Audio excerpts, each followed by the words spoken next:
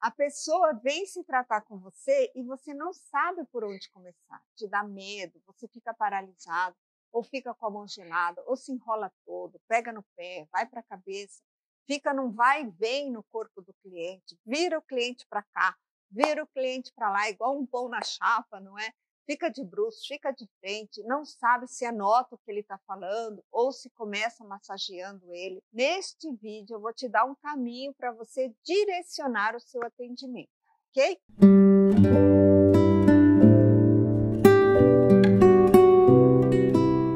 Meu nome é Paula Guimarães, sou formada especializada em terapias orientais lá em Mishima, no Japão, no Okido International Institute, a escola de Masahiro Oki. E neste canal eu trago para você conteúdos de saúde e terapias orientais. Seja muito bem-vindo, bem-vinda a este canal do YouTube. Estou fazendo essa série de vídeos onde eu vou te ensinar você a se tornar um massagista oriental começando do zero. Vou pegar você pela mão para dar os seus primeiros passos como terapeuta oriental mesmo que você já seja um profissional da área da saúde. Eu vou deixar claro aqui para você alguns aspectos que você já deve considerar sobre os diagnósticos orientais. A primeira coisa importante que você precisa saber é que os diagnósticos orientais não são diagnósticos da medicina ocidental, do médico. São classificações diferentes e não visam substituir de maneira nenhuma o diagnóstico médico, mas sim complementar o que o seu cliente traz para você, você vai fazer com ele junto com o médico dele. Vamos falar aqui dessas classificações orientais que lá no Oriente são chamadas de diagnóstico oriental. Não pense que eu estou falando de diagnósticos como diabetes, mal de Parkinson, Alzheimer, lúpus, infecções, estes são os diagnósticos médicos e este vídeo não é sobre eles. Você vai aprender aqui formas de diagnósticos de desequilíbrios que muitas vezes são perceptíveis antes de ser uma doença. Vou te dar um exemplo aqui para você entender melhor na prática. Se você pressiona o meridiano do pâncreas, que é lá na perna do seu cliente, em alguns pontos, você vai lá e pressiona. E eles são bem doloridos, são sensíveis. O tornozelo pode estar inchado, grosso. As pálpebras superiores do seu cliente estão mais inchadinhas. Você pode perceber ali, com o toque, um desequilíbrio no pâncreas, mesmo sem ser uma enfermidade. Antes mesmo dessa pessoa ser diagnosticada com diabetes ou pré-diabetes, ou mesmo ela nem é diabetes. Aqui neste caso, eu estou dando um exemplo do diagnóstico do Shin, que é uma técnica do Oriente muito antiga, milenar, e é o diagnóstico pelo toque, chamado Setsushin. Quando você toca o meridiano e ele dói, você percebe tensão, dor, rigidez no ponto e também pelo olhar, que é o bochin, quando você olha para a pessoa e percebe algum desequilíbrio, como no caso a pálpebra superior está bem inchadinha. Isso indica um desequilíbrio do pâncreas. Todos esses desequilíbrios eles acontecem antes da doença, ou porque a pessoa está abusando no açúcar,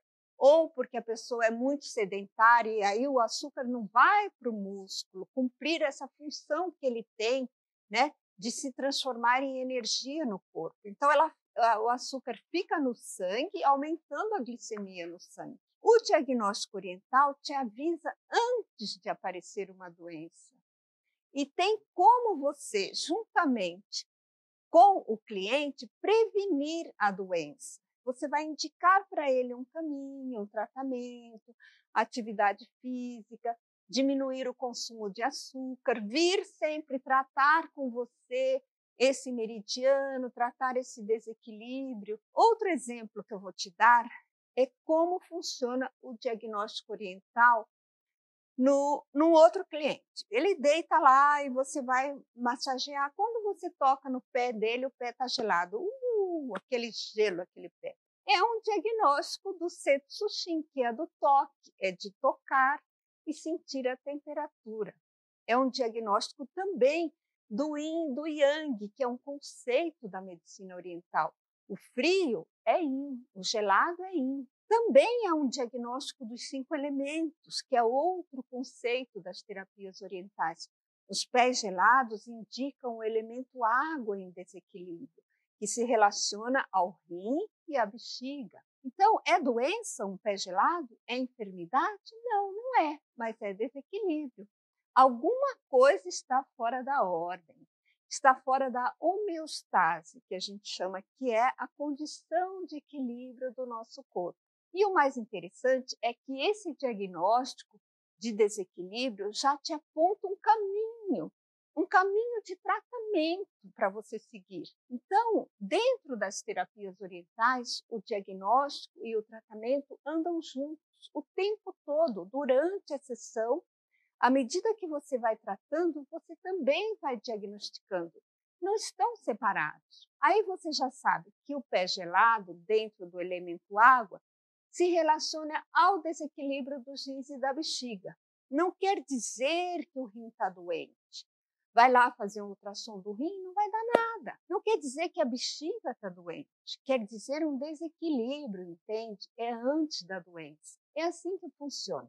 É apaixonante.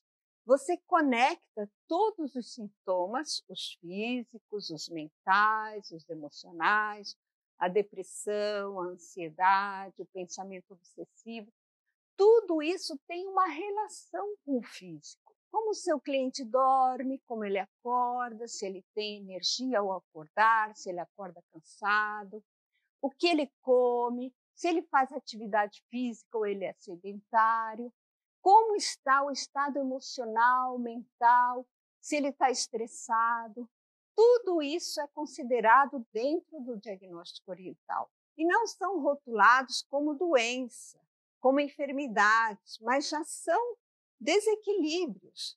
Já é sair do estado de equilíbrio, já é sair da homeostase. E o nosso trabalho como terapeuta oriental é identificar esses desequilíbrios e tratá-los com pontos, com indicação de alimentos, com indicações de atividade, tomar sol, caminhar. Não precisa se preocupar, que não é muito complicado. A pessoa, em geral, já apresenta um padrão ali. Se ele é elemento água, como eu citei no exemplo do pé gelado, ele vai apresentar um padrão de sintomas bem característicos desse elemento. É um conjunto de estratégias também que estão disponíveis para você de como tratar esse elemento. Então, quais são as técnicas de diagnóstico oriental que eu uso? Eu uso o XIM, que é um diagnóstico muito antigo, mas muito atual também, que se diagnostica pela temperatura, pela rigidez, pelo cheiro, pela forma como a pessoa respira, pelo tom da voz, pela coloração da pele, se tem bolsas, se tem olheiras, inchaço na pálpebra, como eu disse no caso do pâncreas, Uso também a teoria do Yin do Yang, que é a base, é o fundamento das terapias orientais. Uso também a teoria dos cinco elementos, que é uma classificação mais específica que o Yin e o Yang. Os elementos são água, madeira, fogo, terra e o metal. Tudo no Oriente a gente aprende assim, dessa forma poética, é muito bonito e harmônico também. E acho muito importante o diagnóstico do Hara.